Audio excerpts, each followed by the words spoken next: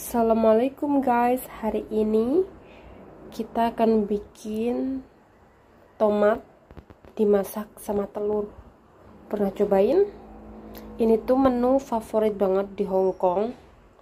Namanya Fan Ge Jautan Fan Ge itu uh, tomat Chow itu dioseng Dan tan itu adalah telur. Jadi cuma dua bahan ini masaknya cepet banget dan simple banget so lihat ya. Cara bikinnya tuh gampang banget. Oke jadi tomatnya udah aku potong-potong kayak gini. Dan telurnya aku udah uh, buka taruh di mangkok kayak gini. Jadi itunya gampang banget. Kita taruh tomat yang udah dipotong di dalam wadah. Jadi sesimpel ini bikinnya terus ini adalah uh, penyedap rasa. Penyedap rasa ayam. Ini ditaruh di telur. Kayak secukupnya sih suka-suka. Kalau agak banyak ya agak banyak kan nggak apa-apa. Jadi ditaruh kayak gini. Terus ini adalah gula. Jadi gula ambil satu sendok. Jadi taruh di sini udah gitu doang. Tinggal kita masak di di wajan yang ada minyaknya. Jadi uh, telurnya udah aku kocok-kocok yang kita tambahin tadi penyedap rasa. Uh, kaldu bubuk rasa ayam oke. Okay.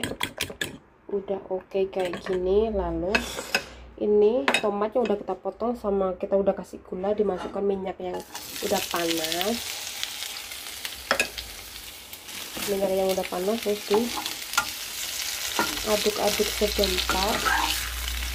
Digoreng-goreng sebentar.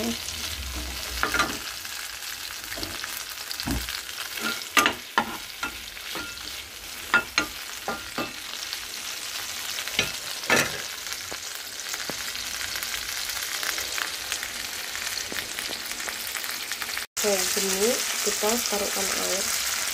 Kasih air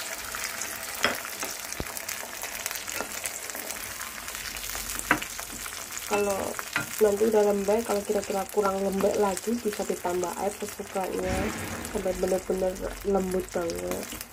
Gitu. Ini udah ada air kan?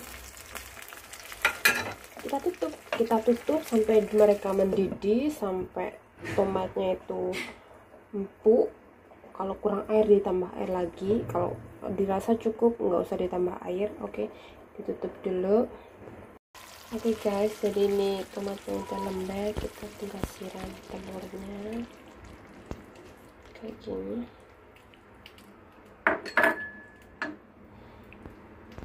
Nggak usah buru-buru diaduk dulu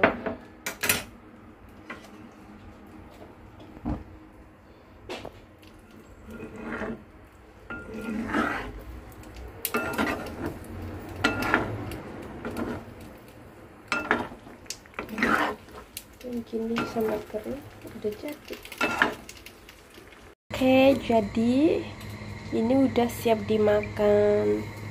Cuma tomat sama telur bahannya ya simpel banget kan. Jadi ini favorit banget orang-orang Hongkong spesialnya orang tua mereka akan lebih suka makan yang empuk-empuk kayak gini.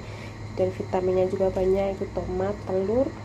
Dan bumbunya cuma penyedap rasa kaldu ayam bubuk sama gar uh, apa gula aja. Oke okay. terima kasih. Selamat mencoba. Bye bye